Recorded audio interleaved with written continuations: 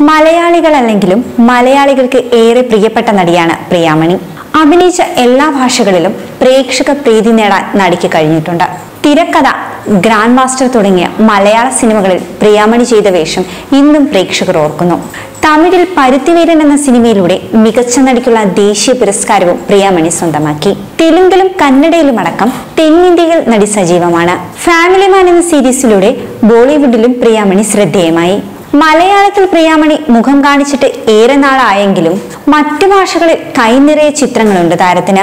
ഷാരൂഖ് ഖാൻ ചിത്രം ജവാനാണ് പ്രിയാമണിയുടെ പുറത്തിറങ്ങാനിരിക്കുന്ന ഏറ്റവും പുതിയ ചിത്രം. വർഷങ്ങൾ നീണ്ട സിനിമാ ജീവിതത്തിലെ അനുഭവങ്ങളെക്കുറിച്ച് പ്രിയാമണി പങ്കുവച്ച വാക്കുകളാണിപ്പോൾ ശ്രദ്ധ നേടുന്നത്. ഭർത്താവ് പറയും പോലെയാണ് താൻ എല്ലാം ചെയ്യുന്നതെന്ന് പ്രിയാമണി പറഞ്ഞ വാക്കുകളാണ് ഇതിൽ ഏറ്റവും ശ്രദ്ധേയം.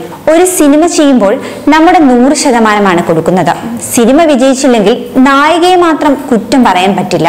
എനിക്ക് ഒരുപാട് തവണ ഇങ്ങനെ സംഭവിച്ചിട്ടുണ്ട്. മാനേജർ ഫിലിം മേക്കേഴ്സിനെ സമീപിക്കുമ്പോൾ എന്റെ ഒടുവിലത്തെ സിനിമ പരാജയമാണെന്ന് പറയും. എന്തുകൊണ്ടാണ് എനിക്ക് മാത്രം കുറ്റപ്പെടുത്തൽ?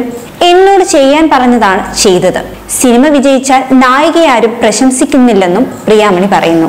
ചില സിനിമകൾ വരുമ്പോൾ ആദ്യം തന്നെ ചോദിക്കുന്നത് ഇതൊരു ചെറിയ സിനിമയാണ് ബഡ്ജറ്റ് കുറവാണ് പ്രതിഫലം കുറയ്ക്കാൻ പറ്റുമോ എന്നൊക്കെയാണ്.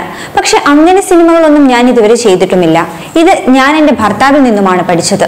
ഒരു വാതിലടഞ്ഞാൽ അടുത്തത് തുറക്കും. ഒരു സിനിമ നഷ്ടപ്പെട്ടതുകൊണ്ട് നിരാശപ്പെടേണ്ടതില്ലെന്നാണ് അദ്ദേഹം പറഞ്ഞിട്ടുള്ളത്. നടി വ്യക്തമാക്കുന്നു.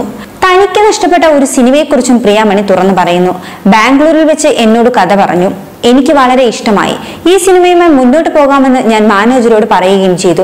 പക്ഷേ പിന്നീട് സിനിമയുടെ ഒരു അപ്ഡേറ്റും ഉണ്ടായില്ല.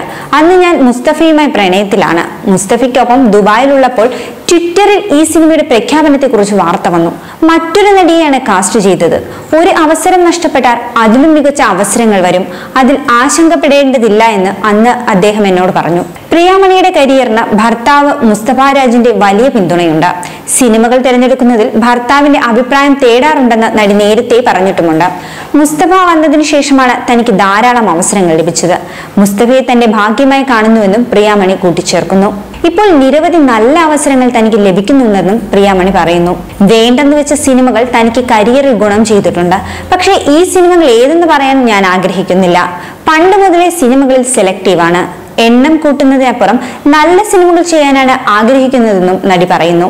മോഡലിംഗിൽ നിന്നുമാണ് പ്രിയാമണി അഭിനയ രംഗത്തേക്ക് കടന്നു വന്നത്.